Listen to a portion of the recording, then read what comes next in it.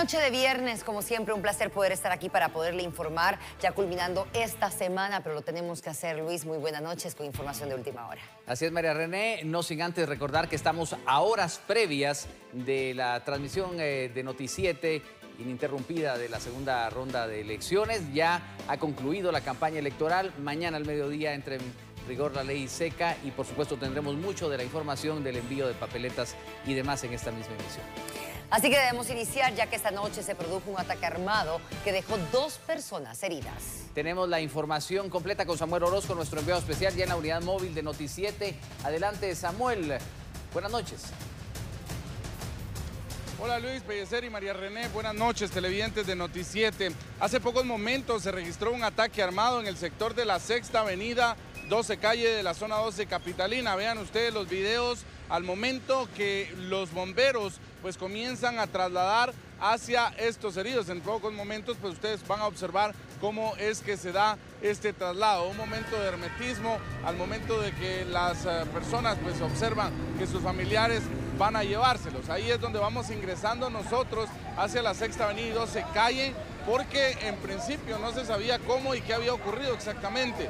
Luego se confirma que son dos personas las cuales han resultado heridas en este ataque armado. Estamos hablando del menor Jefferson José Zuleta García, de 15 años, y una persona identificada como Cristian Cristóbal Alexander Paz Piril, de 18 años. Al momento que esto se registra, pues la Policía Nacional Civil inicia una persecución tomando en cuenta que se hablaba que a bordo de una motocicleta negra que escapó el tripulante hacia la calzada Raúl Aguilar Batres y también un vehículo negro que se internó siempre en la zona 12 capitalina. Momento que esto se da, los bomberos municipales pues hacen el traslado. Sin embargo, hace pocos, hace pocos eh, minutos ya me han confirmado sobre el fallecimiento, lamentablemente, del menor Jefferson José Zuleta García de tan solo 15 años. ¿Qué es lo que ha ocurrido en este sector o por qué posiblemente se registró este ataque armado? Se habla de que sería una venganza por el tema de un teléfono celular que días atrás aparentemente le habían robado a una de las víctimas hoy, pero no se ha establecido hasta el momento. Investigación criminal, Ministerio Público ya están en el punto para iniciar con las investigaciones de lo ocurrido. Esto provocó un cierre vehicular importante porque ahí sale en la tema de la 12 calle para incorporarse hacia el otro sector de la zona 11 capitalina. Imágenes captadas por mi compañero Fernando Hernández. Soy Samuel Orozco. Buenas noches. Buenas noches, Samuel. Muchas gracias por la información. Eh, complicada la circulación vial entonces en este sector de la zona 12, más allá del hecho informativo, del cual pues eh, trasladamos a ustedes los detalles de última hora.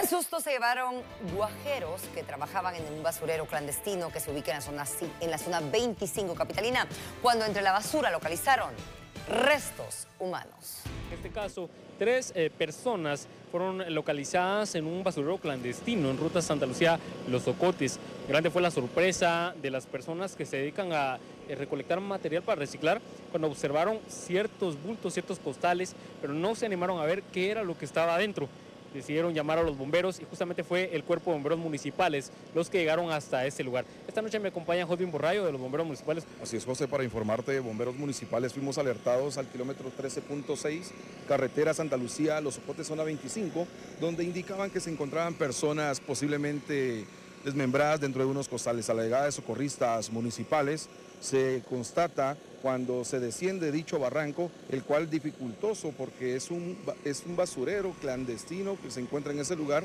el cual se rastrea el área y se localizan tres costales grandes con bolsas negras en su interior, donde se verifica y se encuentran extremidades de diferentes cuerpos, el cual se constata que son extremidades inferiores, el cual el Ministerio Público desciende con nosotros minutos después y da la autorización para extraer los cuerpos y llevarlos a la superficie. En este caso fue de esta manera, Joaquín, que se logró determinar el sexo de las personas preliminarmente. Así es, preliminarmente se localizan seis extremidades inferiores de dichas personas, aparentemente dos masculinos y un femenino, pero ya es el Ministerio Público que se encarga de dar toda la información. ¿Cómo fue la labor en ese lugar, Hosbin? Estuvo lloviendo hoy en varios sectores de la ciudad capital y también pues podemos observar en las imágenes que es un terreno bastante complicado. Así es, se desciende el barranco de aproximadamente 35-45 metros, el cual se hace la búsqueda entre, todo, entre toda la basura que se encuentra en dicho barranco, el cual se constata y se le habla al Ministerio Público para que ellos hagan presencia junto a la PNC a este lugar gracias por el detalle de la información. Ahí tenemos en pantalla, amigo televidente, las imágenes que pues, los socorristas nos hicieron llegar. En este caso, ya el Ministerio Público procesó esa escena del crimen. Los restos han sido trasladados ya a la morgue del INACIF en la zona 3 de la ciudad capital, en donde se va a establecer pues, ya de manera fehaciente el sexo de estas tres personas y también las investigaciones para saber qué fue lo que pasó. Un crimen pues, eh, brutal que es eh, muy común, según los analistas en seguridad, en eh, temas de venganza entre pandilleros. También fue localizado el cadáver de otro hombre en un callejón del asentamiento Unidos por la Paz en Villanueva. Con señales de violencia y envuelto en sábanas, fue localizado sin vida un hombre en el sector 5 del asentamiento Unidos por la Paz, zona 12 de Villanueva. Cerca del cuerpo se observaron rastros de sangre. Fuimos alertados al lote 230, sector 5 de Unidos por la Paz, zona 12 de Villanueva, donde vecinos informaban que se encontraba una persona posiblemente fallecida envuelta en sábanas. A la llegada de socorristas municipales se constata que es una persona de sexo masculino fallecido, el cual esta persona presentaba señales de violencia en el área del rostro y cráneo. Según los socorristas, el cuerpo pudo ser llevado cargado por los asesinos, esto por las gotas de sangre que marcaban el camino hacia donde se encontraba.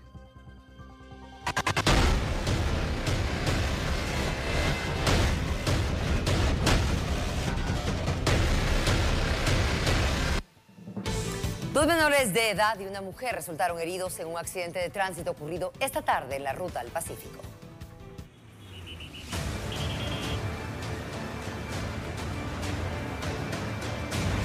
Un cabezal y un vehículo particular colisionaron en el kilómetro 15 ruta al Pacífico, jurisdicción de Villanueva. El aparatoso accidente dejó herida a María Victoria Dávila y a sus hijos de 7 y 9 años. La mujer fue trasladada hacia un centro asistencial en estado inconsciente, mientras que los menores presentaban posible trauma craneal, informaron los socorristas.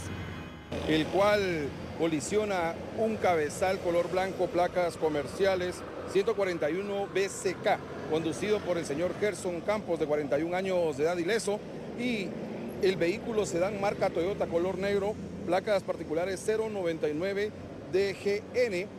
Se encuentran tres personas en el interior del mismo. Bomberos municipales hacen uso de equipo especial para poder extraer con vida a estas tres personas, siendo ella una persona de 42 años aproximadamente con varios traumas en diferentes partes del cuerpo y así dos menores trasladados de 7 y de 12 años a un centro asistencial privado de zona 10. Las personas heridas fueron trasladadas hacia la emergencia del Hospital Roosevelt. Sin embargo, los familiares solicitaron que fueran llevados hacia un centro asistencial privado. Mientras tanto, el piloto del cabezal identificado como Gerson Campos, de 41 años de edad, resultó ileso. En medio del caos vehicular, la tarde de este viernes hubo varios accidentes protagonizados por vehículos de transporte pesado. La lluvia habría sido la principal causa por la que un vehículo particular se estrelló de frente contra un tráiler. Esto ocurrió sobre el kilómetro 68 de la Ruta Nacional 14. Al lugar llegaron bomberos voluntarios y bomberos municipales departamentales de Jocotenango, Pastores y Ciudad Vieja para atender la emergencia, pues se especulaba que el percance había sido de gran magnitud. Al llegar los socorristas encontraron el vehículo particular completamente destruido y al cabezal del tráiler se le había desprendido el tren delantero, por lo que terminó empotrándose en un terreno baldío. Afortunadamente no hubo víctimas mortales que lamentar. El conductor del tráiler únicamente sufrió crisis nerviosa, mientras el conductor del automóvil particular sufrió trauma de cráneo y en estado consciente fue llevado al Hospital Nacional de la Antigua Guatemala.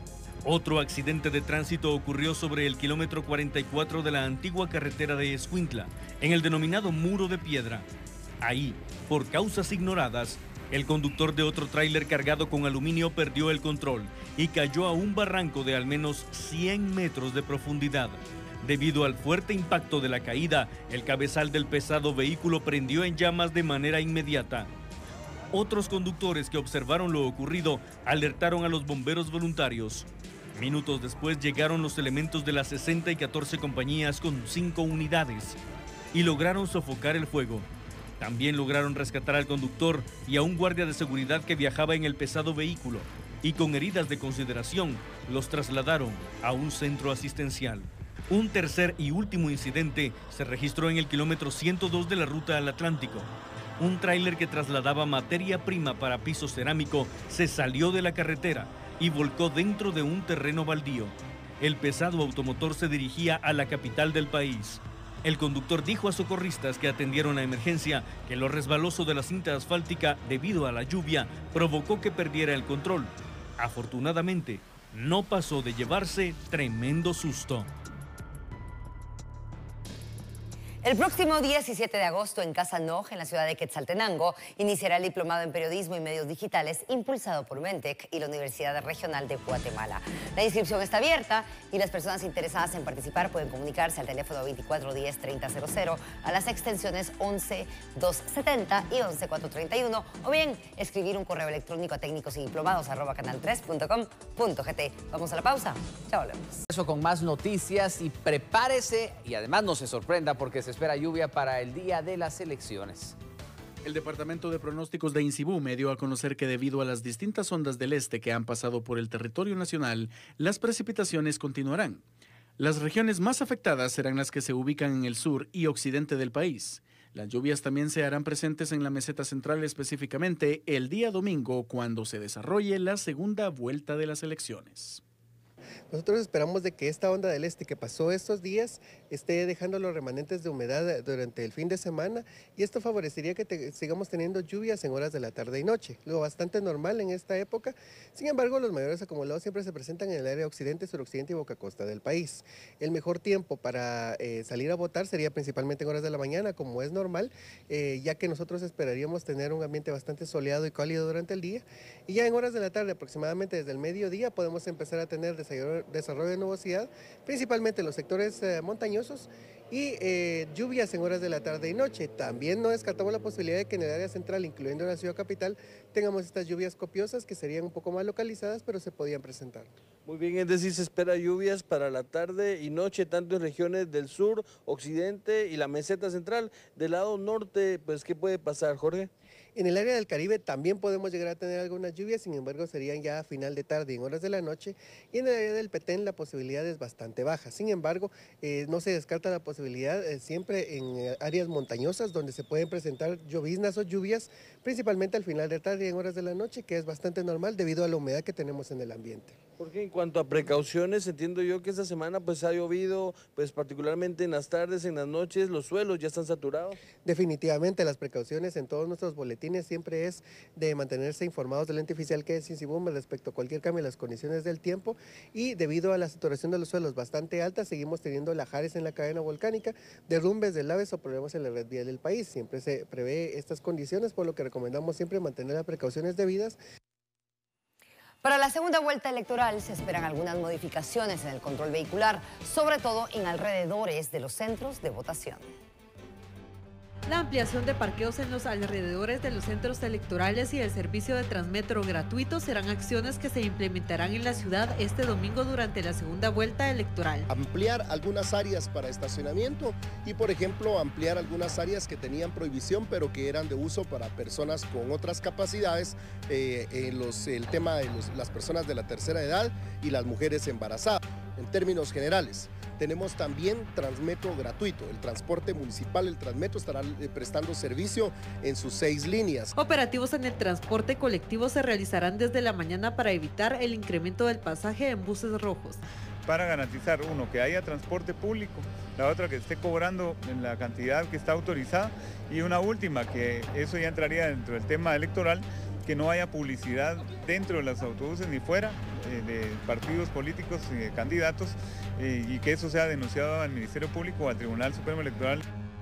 Durante la primera vuelta electoral se recibieron denuncias por el cobro de pasaje con valor de hasta 5 quetzales por persona, lo que se busca prevenir este domingo. El presidente de CACIF se refirió al proceso electoral del próximo domingo. Nosotros hemos dicho que somos respetuosos del debido proceso, nos procesos y las, y las instancias de justicia son independientes, pero esto no tiene que afectar el proceso electoral ni el día de las elecciones. Esto es un tema de justicia que si hay indicios y si se cometió un delito, pues tiene que seguirse los procesos legales y el debido proceso, incluyendo la presunción de inocencia y presentación de pruebas. No tiene que afectar en lo absoluto que la gente vaya a votar y que el resultado del domingo refleje la voluntad del pueblo.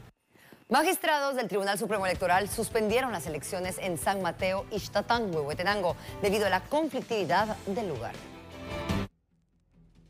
Según el portavoz del Tribunal Supremo Electoral, la ley faculta al TSE para suspender las elecciones en determinados lugares del país en donde se registren conflictos. En el caso de San Mateo, Ixtatán, Huehuetenango, no se llevará a cabo la segunda vuelta electoral por motivos de seguridad. Esto a raíz de los hechos violentos ocurridos durante la primera vuelta de elecciones. Recordemos que si en este caso no lo permiten las condiciones, como efectivamente está sucediendo en este punto, donde la conflictividad y la violencia está llegando a puntos más altos, no es seguro para la Junta Receptora de Votos, para la Junta Electoral Municipal, incluso para los mismos votantes, el que se realice el proceso, por lo cual en este caso no se llevará a cabo en este municipio el 11 de agosto. En el lugar se encontraban 56 juntas receptoras de votos, que representan el 0.26% de las 21.099 juntas en todo el país. La Junta Directiva del Congreso de la República recibió a un grupo de observadores internacionales que verificarán el balotaje del próximo domingo. El vicepresidente del Legislativo Felipe Alejos recibió a miembros de la Red Latinoamericana de Jóvenes por la Democracia, quienes observarán los comicios de este domingo 11 de agosto. Es muy importante que existan observadores internacionales para que puedan dar certeza, eh, en este caso, de eh, lo que son las elecciones que se van a realizar el domingo, que haya certeza, que haya transparencia y que los guatemaltecos tengan la confianza de que el voto eh, que ellos están emitiendo es un voto que va a, sumar al candidato de la preferencia de ellos. Nosotros eh, les hemos dado el agradecimiento aquí a los compañeros eh, que nos acompañan, que vienen de diferentes partes del mundo, prácticamente de toda Latinoamérica. Yo creo que es un gran esfuerzo el que hacen, muchos de ellos pues son jóvenes, pero sin embargo han estado ya en 13 eh, diferentes eh, países llevando a cabo este tipo de observaciones electorales, tienen la experiencia. El representante de la red, el chileno Juan Carlos Vargas, explicó que se desplegarán en distintas partes del país para dar certeza del balotaje.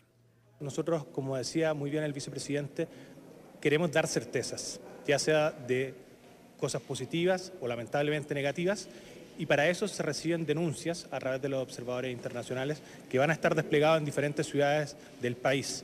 Eh, nosotros ya estamos acá, el equipo completo, va a estar hasta principios de la próxima semana eh, en diferentes actividades, instancias, reuniones con diferentes actores políticos y de la sociedad civil para ir analizando y escuchando también la voz de la ciudadanía en este proceso electoral. La dirección de voto en el extranjero explica quienes sí pueden votar en Estados Unidos por los gobernantes guatemaltecos. Los connacionales que radican en Estados Unidos deben cumplir con algunos requisitos para poder ejercer el voto y elegir a nuestros gobernantes. A continuación, la directora del voto en el extranjero los explica. Para poder votar en el extranjero hay que estar en el padrón del extranjero. Y los que figuran en ese padrón son todos aquellos connacionales que se empadronaron con anterioridad y que tramitaron su DPI en alguno de los consulados de las cuatro ciudades, de Los Ángeles, de Houston, de Silver Spring o de Nueva York o también todos aquellos que hayan realizado su proceso de empadronamiento, su proceso de actualización de datos a través de las herramientas tecnológicas que el Tribunal Supremo Electoral puso a disposición de todos nuestros connacionales en el extranjero durante el periodo de empadronamiento. Más de lo que ocurre en esta jornada en la zona 5 capitalina fue detenido un pandillero acusado de múltiples extorsiones. Al sujeto le apodan el Ploqui.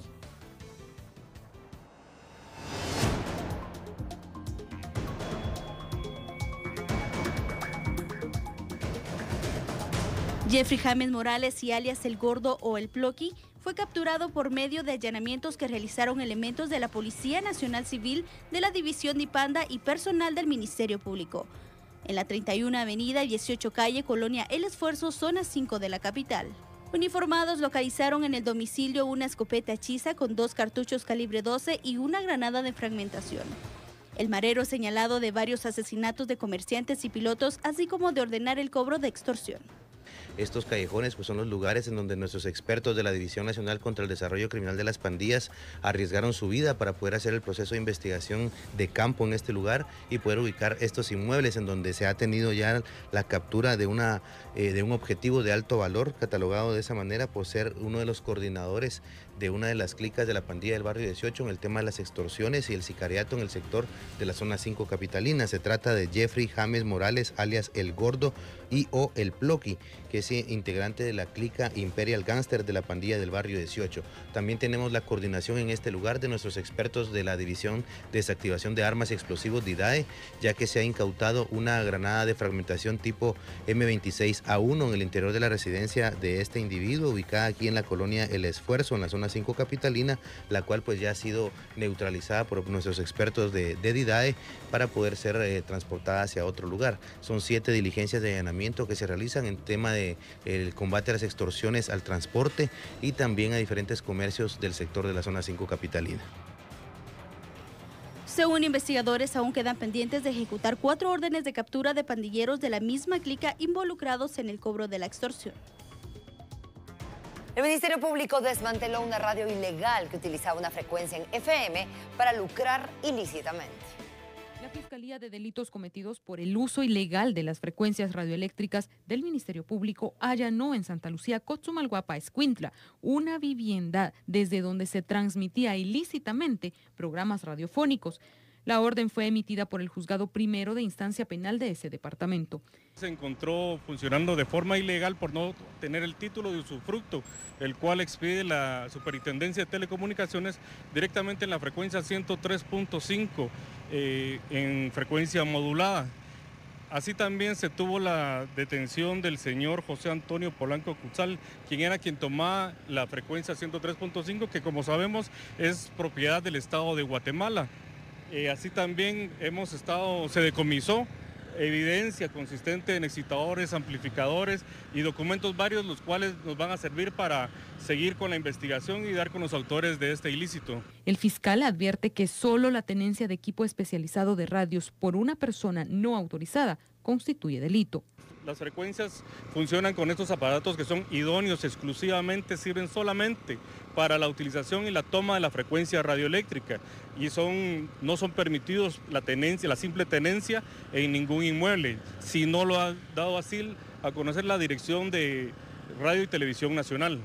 El fiscal a cargo, Rudy Santos, informó que en Suchitepeques, en San Juan Bautista y Pueblo Nuevo Viñas, también se realizaron dos allanamientos que resultaron en dos capturas y decomiso de equipo.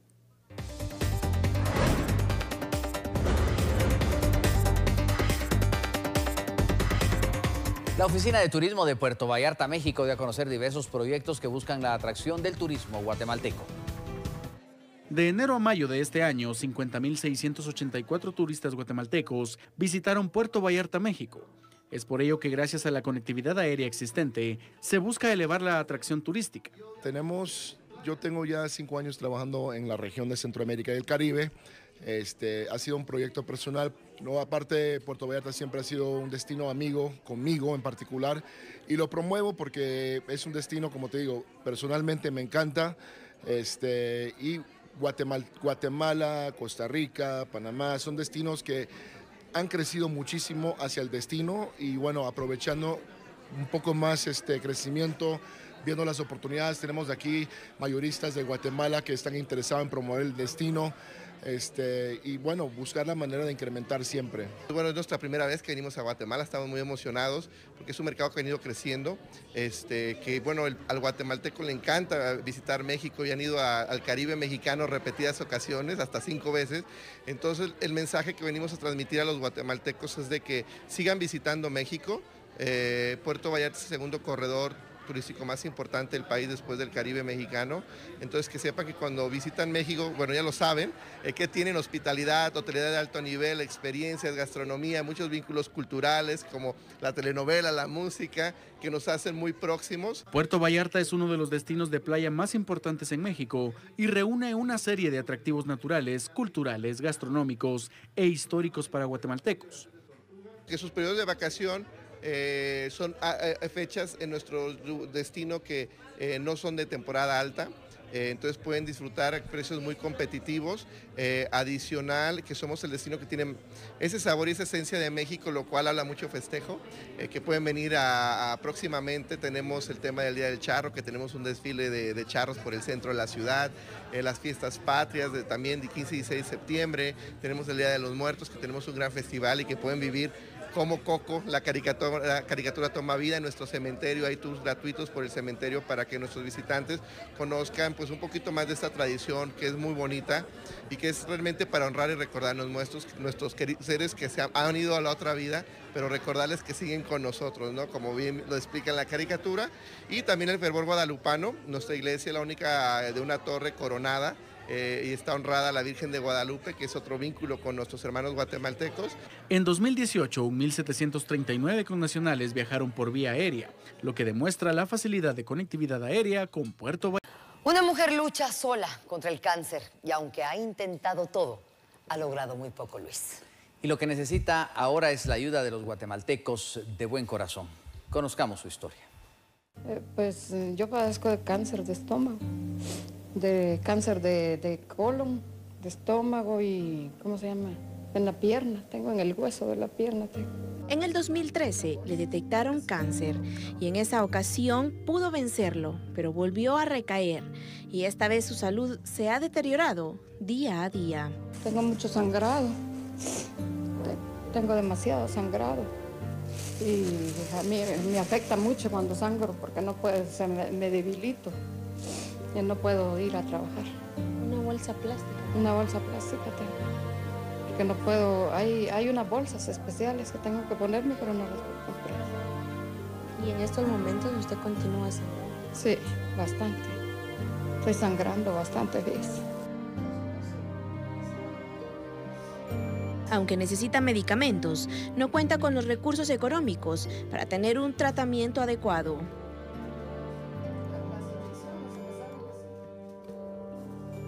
Me necesito lírica, medicamento y las quimioterapias también para ir al INCAN, para ir a que me hagan el tratamiento. O sea, yo necesito eso, las personas que me puedan ayudar, que Dios les va a multiplicar. Algunos vecinos ayudan a doña Gladys con comida y son testigos de su dolor.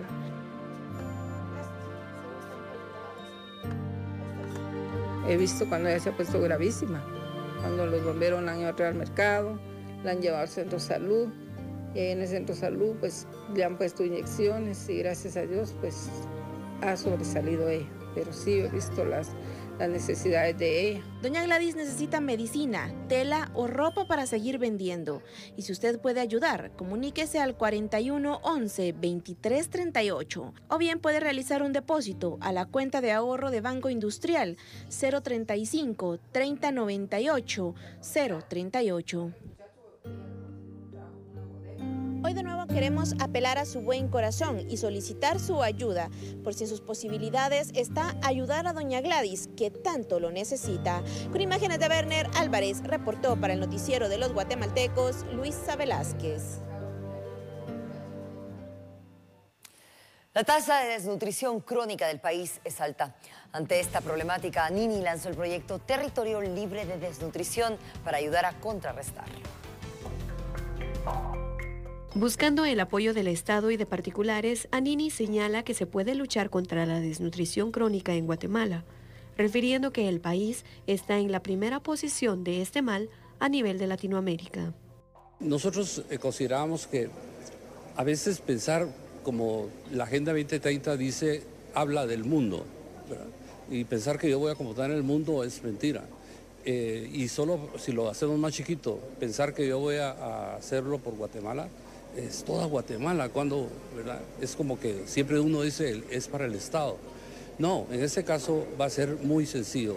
Nos vamos a preocupar de un territorio, un territorio y, y en ese vamos a trabajar hasta que lo declaremos libre de, de nutrición crónica.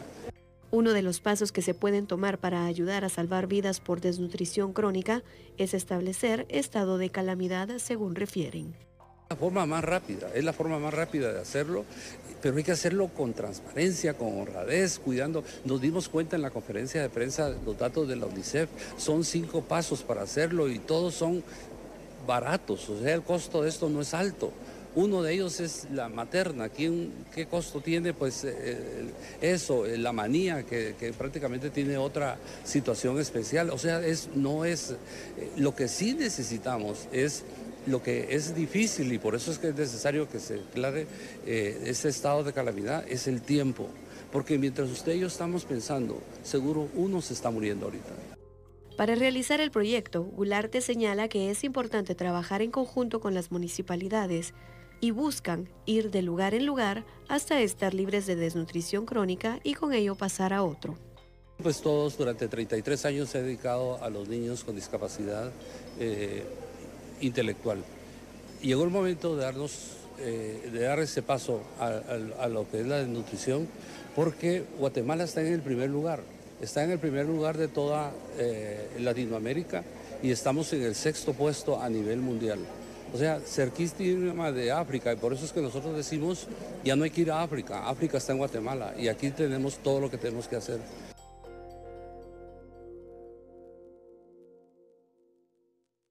Hoy 9 de agosto se conmemoró el Día Internacional de los Pueblos Indígenas y la Fiscalía General del Ministerio Público aprovechó para informar sobre la creación de una nueva entidad, una fiscalía, para este sector poblacional guatemalteco.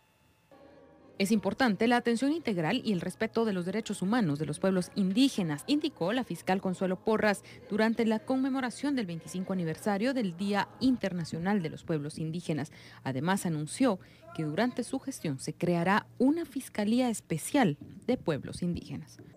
Que he girado instrucciones para la creación de una Fiscalía de Pueblos Indígenas, que si Dios nos permite, tal vez antes de finalizar el año, tendrá a su disposición los pueblos indígenas una fiscalía para la atención de todos los requerimientos.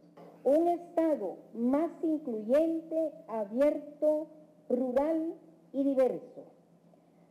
Agrega a nuestra sociedad más posibilidades de desarrollo. Además, el secretario de Pueblos Indígenas del Ministerio Público aprovechó la conmemoración para manifestar la preocupación por la extinción de idiomas mayas. En este marco de celebración del 9 de agosto y también que las Naciones Unidas se estableció este año como, declaró como el año de la lengua materna, en donde la gran mayoría de los idiomas están en peligro, los idiomas indígenas están en extinción. De hecho, informaciones que, se han divulgado hablan de que cada dos semanas muere un idioma indígena, poniendo en riesgo las culturas y los sistemas de conocimiento que dichos pueblos aportan al mundo. Es por ello que en este Día Internacional se pretende sensibilizar sobre la preocupante pérdida de estos idiomas y la gran necesidad de preservarlas, revitalizarlas y promoverlas a nivel nacional e internacional. Guatemala está conformada por tres pueblos indígenas, Maya, Xinca y Garífuna, además del grupo de la población ladina.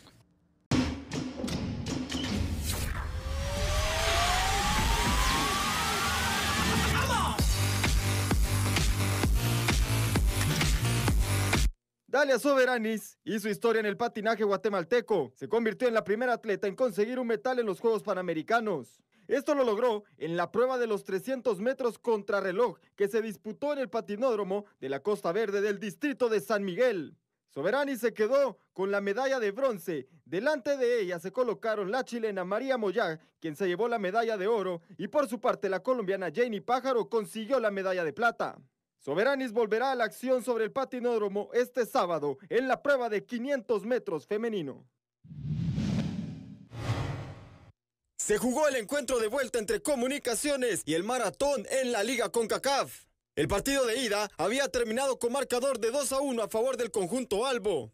En el juego de vuelta se mantuvo el 0 por 0 hasta el minuto 80 cuando Arboleda puso en ventaja al conjunto Catracho. Pero a un minuto del final, el Checa Hernández consiguió este golazo para empatar el encuentro y así darle el pase a Comunicaciones a los octavos de final donde enfrentará a Guastatoya.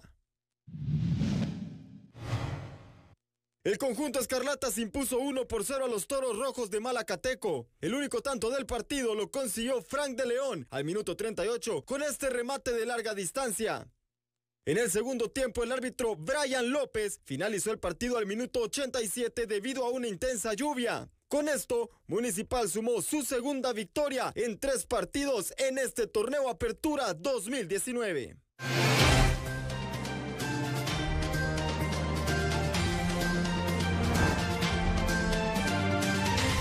Y nos despedimos con una buena noticia, pero antes también con una felicitación hacia nuestro director, porque hoy de verdad está de cumpleaños y de verdad de mantener largos y nosotros pues obviamente le tenemos mucho cariño, muy importante para esta emisión nocturna. A nombre de todo el personal que ya le ha celebrado y nosotros nos unimos también a esta celebración, pues muchas felicidades Byron, que Dios te bendiga y pues que sean muchos más, ¿verdad? Feliz cumpleaños al jefecito. Pero bueno, debemos concluir también con otra noticia. Sí, vamos a dejarles, eh, María René, precisamente el hashtag con el que pueden ustedes interactuar con eh, la transmisión ininterrumpida de Noticiete que empieza el domingo a las 6 de la mañana. Así que pues desde ya pueden usar las redes sociales y pues eh, ser parte activa de la transmisión y de lo que iremos eh, presentando a toda la ciudadanía. Nuestro hashtag es voto 2019, así que por favor lo invitamos a que esté con nosotros. Estamos preparados con gráficas, eh, una cobertura a nivel nacional con un equipo desplegado en tantos departamentos, en todos los departamentos de hecho. Así que desde las 6 de la mañana lo esperamos en diferentes turnos y luego entramos ya de lleno aproximadamente a las 7 de la tarde hasta el cierre, hasta que conozcamos quién será nuestro próximo presidente. Cobertura total de Noticiete, hashtag voto 2019. Y bueno, les dejamos...